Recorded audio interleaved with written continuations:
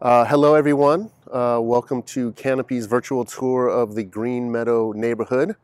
Uh, looking at the trees uh, of Greenmeadow, we're going to do a virtual walk around today.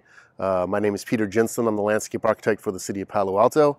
I'm joined today by Matt, Natalie Brubaker, is our uh, film producer today a, from Canopy that's capturing this for everyone to see. Uh, we're just going to jump into it.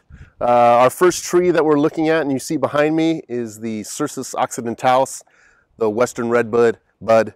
This is a great uh, tree to start off with because, of course, it is a native tree of California. Uh, it also is the perfect time of year to be looking at this tree, of course, because it has its bloom on it. Uh, you can see it has a beautiful pink profuse bloom.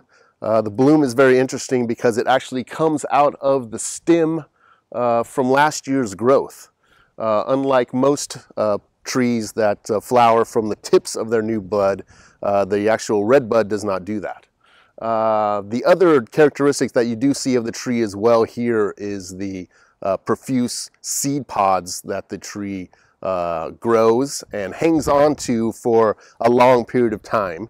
Uh, some people find this unattractive of the tree itself, but it is a distinct characteristic of the tree. Uh, of course, then it is producing a lot of seeds to free seed in uh, the uh, wild, mostly living in low elevations of the Sierra Nevada mountains. Uh, it is not an invasive uh, plant at all, so even though it is producing a lot of seed, it usually does not produce a, a lot of new sprouts. Its overall growth is a, fairly small as a tree goes. this one I would say is probably 25, 30 years old, and you can see it's about 20 feet tall.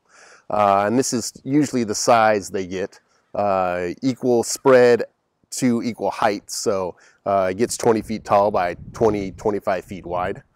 Um, it is, of course, uh, good for native uh, species and for habitat. Uh, the seed that it's creating, of course, is food for birds.